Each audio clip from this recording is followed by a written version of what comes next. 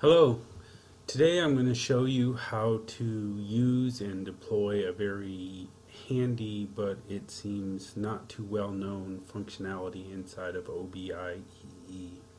I'm going to be using the sample app 406 version today to demonstrate this and what we're going to do is explore the deployment of the metadata dictionary.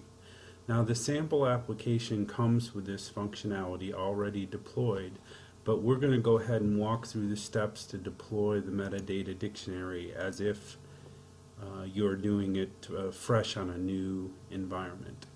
So the way that you access the metadata dictionary is if you are in Answers on the Criteria tab, you can click on a logical folder and you'll see this little icon for Open Metadata Dictionary lights up. If we click on this, we can see that it drills us to the presentation layer inside of the repository and then from this spot we can continue to drill down through the three layers of the repository file so that we can traverse all of the fields and attributes that are available to us at every layer of the RPD. So for instance, I can drill down to my logical table sources and from there I can also drill to the physical data sources by continuing to just drill down through the objects. So this is a very handy functionality that uh, can help a great deal with report development and allowing people responsible for developing reports to be able to find uh, fields and measures and um, you know these attributes that might be useful to them whether or not they're displayed in the presentation layer. Permission to the metadata dictionary is driven the same way that uh, all of your other sort of catalog privileges are driven and if we come into the manage privileges section of the admin tab you'll see that there is this access to metadata dictionary uh, permission and then of course uh, you would grant or uh, remove access to this the typical way you would to other functionality inside of BI. So let's take a look at how this is actually deployed. So first, the first thing that we're going to do is just take a look at the admin tool and you can see that there is a tool for actually generating the metadata dictionary. And it's under the tools utilities and then generate metadata dictionary. Each time that you upload a new repository to the uh, BI server, it'll be necessary to regenerate this metadata dictionary and, uh, and redeploy it. But it's a pretty simple process after you get through the initial setup. So let's dig into the initial setup. Here I have WebLogic console up and I'm under deployments and we can take a look here to see how this app, uh, metadata dictionary is actually deployed. So uh, I've worked through this example and, and we're going to work through it again today, but right now we are deploying the metadata data dictionary from this new metadata dict uh, web application that we have here.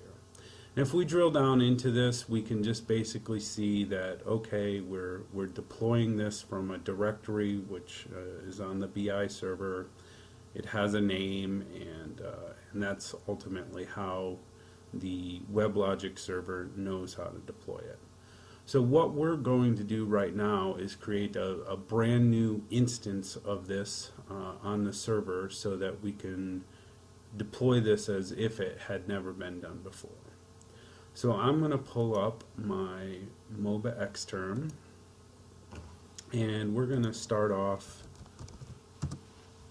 just like we're on a, a, fresh instance of the server. So the first thing that you're going to want to do is navigate down to where you're going to deploy this. So in sample app, the directories used to deploy this metadata dictionary are in this instances folder and you can see the path that I've put into MobaXterm here. So if we take a look here you can see that I have this metadata dict which was the original deployment of this that came with sample app. We can see that we have this new version of it which was the deployment that I just showed you and now we are actually going to create a brand new instance of this to deploy it as if uh, we were on a, a, server that did not have this functionality deployed. Okay, so what I'm going to do is just create a new directory and I'm just going to call this demo metadata. And now if we do another listing, we can see our directory is created. So there's two things that we're going to want to do.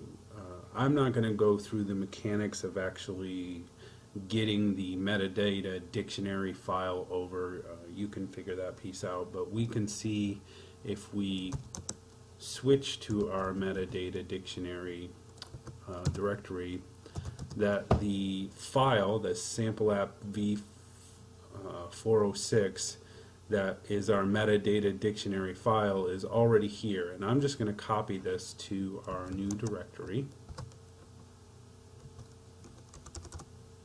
and use the recursive because this is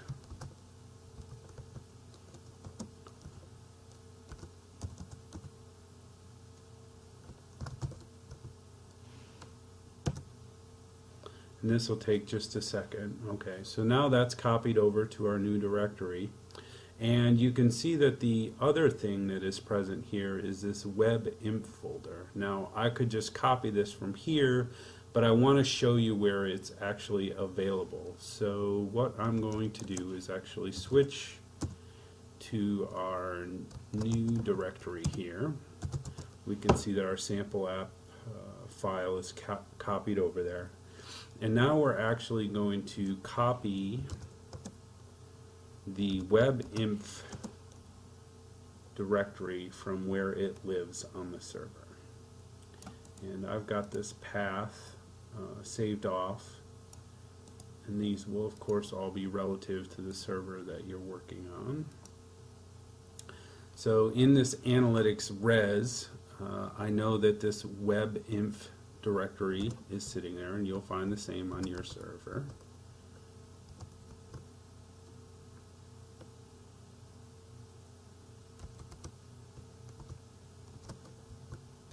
and now I'm just going to copy that to uh, our current directory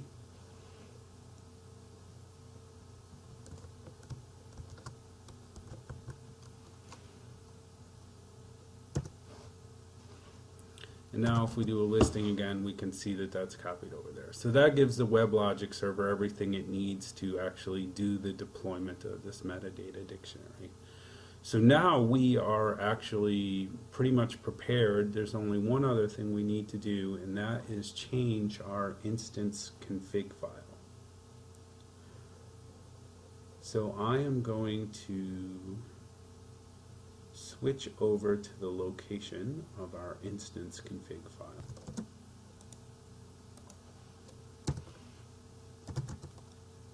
If we do a listing, we can see uh, you know various iterations of this.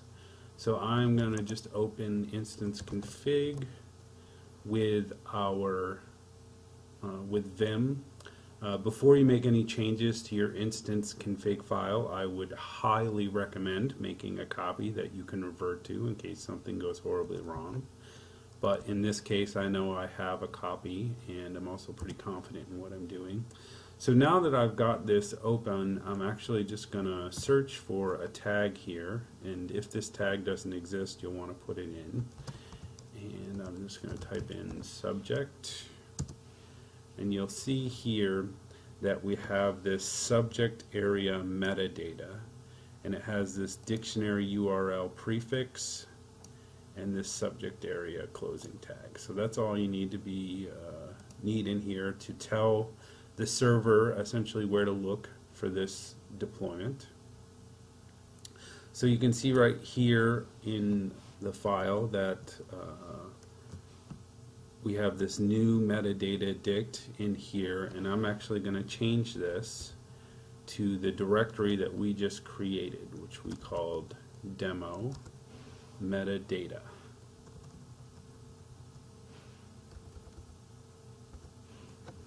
All right, and all I'm going to do, oop, I see a little typo there, that would cause a problem. And then I'm just going to save the file. And now we're actually ready to go out and deploy this metadata dictionary on the WebLogic server. So we'll switch over to WebLogic. And what we're going to do is we're going to click on deployments and we are going to click lock and edit.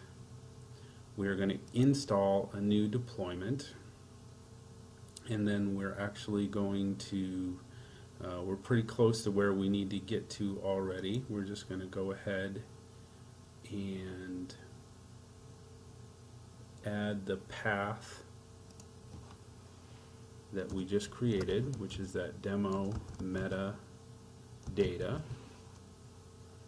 Click next. Uh, we're going to just uh, install this deployment as an application. We're going to select the BI server here go ahead and keep that name, make our lives easy, and click finish. And this will take just a minute. Now that that is finished, we're going to go ahead and click the activate changes button. And now we're just going to scroll down and take a look here at what we have. Uh, we've got this demo made metadata application that is uh, sitting here, uh, prepared, ready to go. And then you can also see that we have got the uh, original that came with the sample app and then this uh, example I've done previously. So first thing we're going to do is we're just going to go ahead and stop that new metadata one.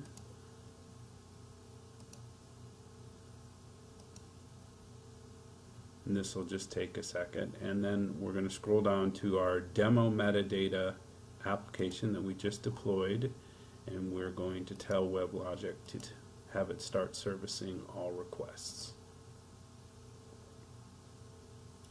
Alright, now that we've done that, the only thing we have left to do is actually just as if we were uploading the repository, go ahead and bounce the BI server. So I'm in uh, Enterprise Manager here. I'm going to go ahead and say restart all. Okay, now that our BI server has restarted, we should be able to log back into the front end. And now if we take a look at creating a new analysis, we should be able to click on a logical folder here. And you can see that our metadata dictionary is still working. And most importantly, we can see that it is being deployed from the brand new deployment that we created. So that's how you set up the metadata dictionary.